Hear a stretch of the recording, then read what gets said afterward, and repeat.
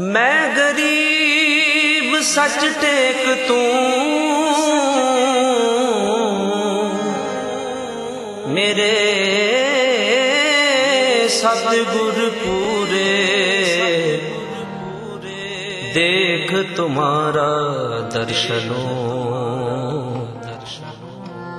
ਮੇਰਾ ਮਨ ਤੀਰੇ।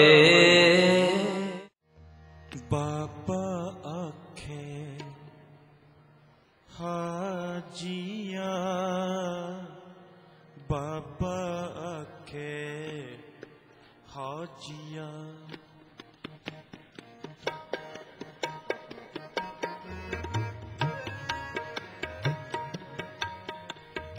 ਬਾਬਾ ਆਖੇ ਹਾਜੀਆ ਬਾਬਾ ਆਖੇ ਹਾਜੀਆ ਬਾਬਾ ਆਖੇ ਹਾਜੀਆ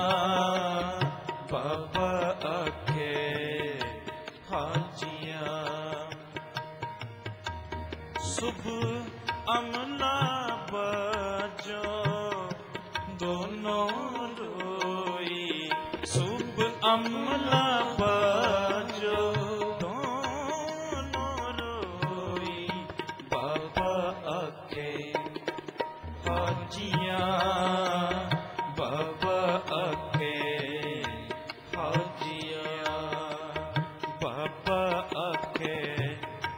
ਹਾਜੀਆਂ ਬਾਬਾ ਆਖੇ ਹਾਜੀਆਂ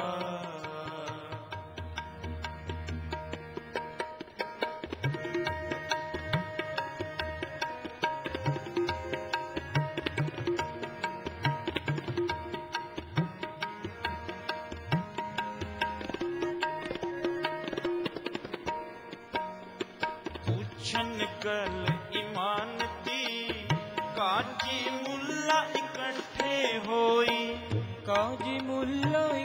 ਇਕੱਠੇ ਹੋਈ। ਪੁੱਛਨ ਗਲ ਇਮਾਨ ਦੀ। ਕਾਜੀ ਮੁੱਲਾ ਇਕੱਠੇ ਹੋ। ਵੱਡਾ ਸੰਗ ਵਰਤਾਇਆ। ਵੱਡਾ ਸੰਗ ਵਰਤਾਇਆ। ਲੱਖ ਨਸਕ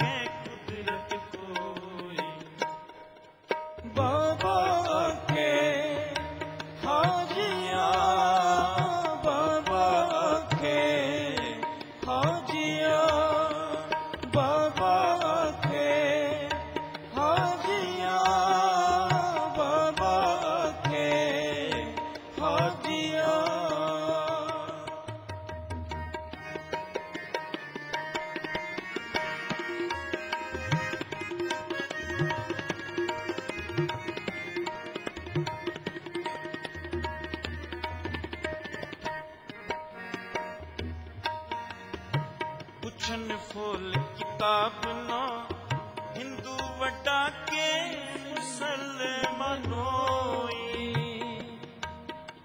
ਵਾਰੀ ਹਿੰਦੂ ਅਤੇ ਮੁਸਲਮਾਨ ਭਾਵ ਇਹਨਾਂ ਦੇ ਧਰਮ ਦੇ ਮੋਢੇ ਇਕੱਠੇ ਹੋ ਕੇ ਧੰਨ ਧੰਨ ਸ੍ਰੀ ਗੁਰੂ ਨਾਨਕ ਸਾਹਿਬ ਜੀ ਪਾਸ ਕੋਲ ਆਏ।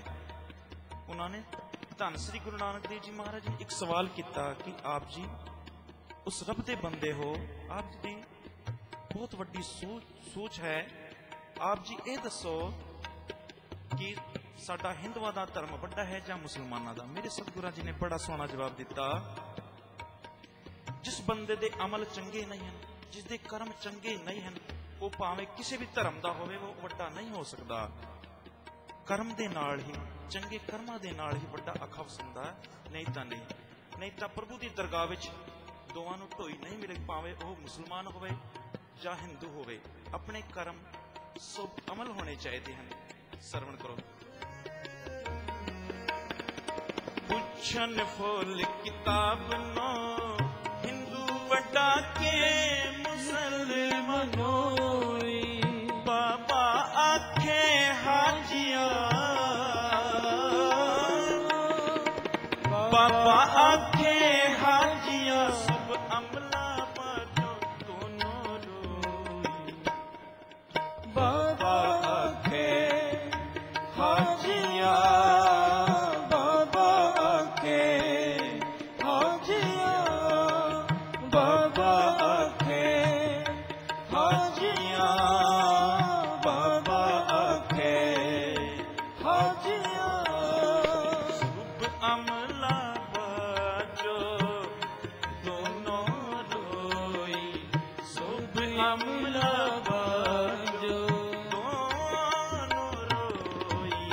ਰੋਈ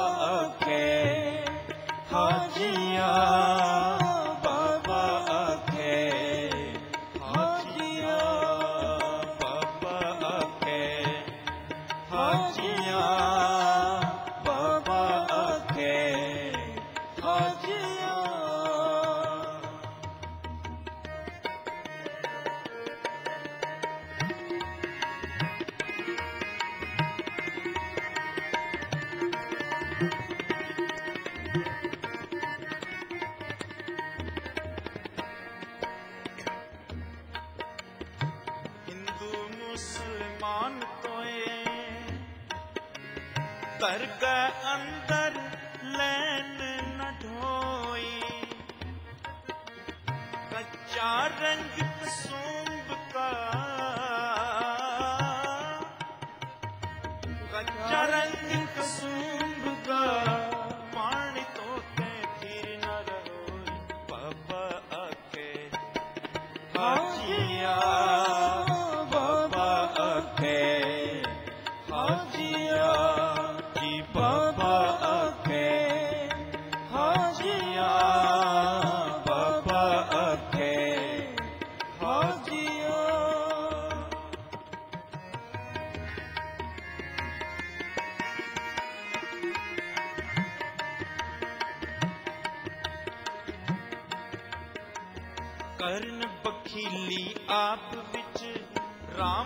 ਰਹਿਮ ਇੱਕ ਹਾਏ ਖਲੋਈ।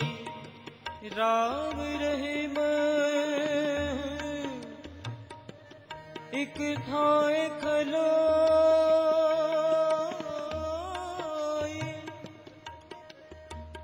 ਕਰਨ ਵਕੀਲੇ ਆਪ ਵਿੱਚ ਰਾਮ ਰਹੀਮ। ਇਕ ਥਾਏ ਖਲੋਈ। ਮੇਰਾ ਵੇਦ ਗੁਰੂ ਗੋਬਿੰਦਾ।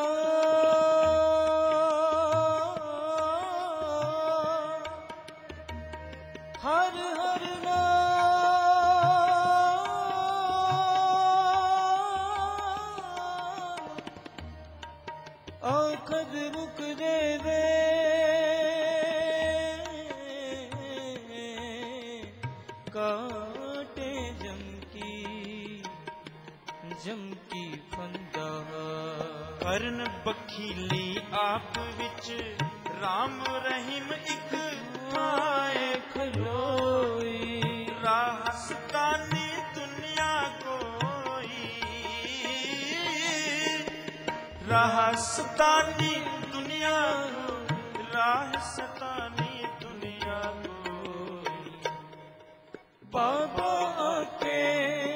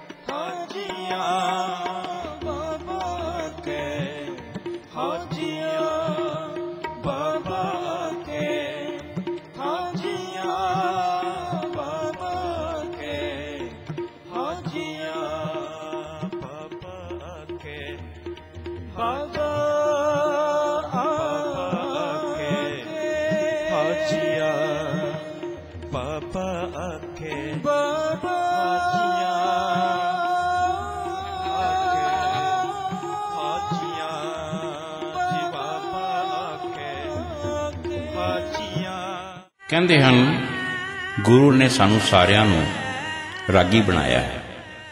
ਸਭ ਨੂੰ ਗੁਰਬਾਣੀ ਗਾਇਨ ਅਤੇ ਸੁਣਨ ਦਾ ਬਲ ਦਿੱਤਾ ਹੈ।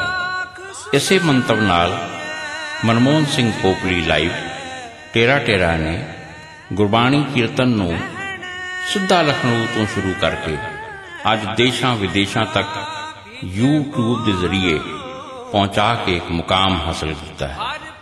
ਗੁਰੂ, ਇਹਨਾਂ ਦੀ ਗੁਰਬਾਣੀ ਪ੍ਰਚਾਰ ਪ੍ਰਸਾਰ ਨੂੰ ਬਲ ਬਖਸ਼ੇ ਤੇ ਸੇਵਾ ਕਰਦਿਆਂ ਗੁਰੂ ਦੀਆਂ ਖੁਸ਼ੀਆਂ ਪ੍ਰਾਪਤ ਕਰਦੇ ਰਹਿਣ।